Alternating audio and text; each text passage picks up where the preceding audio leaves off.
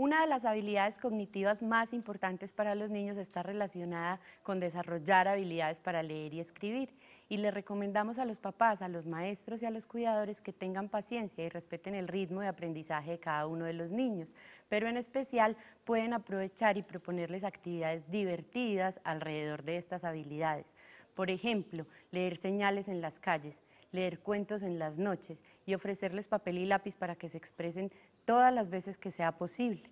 En especial, les recomendamos confiar en, en el proceso de sus hijos.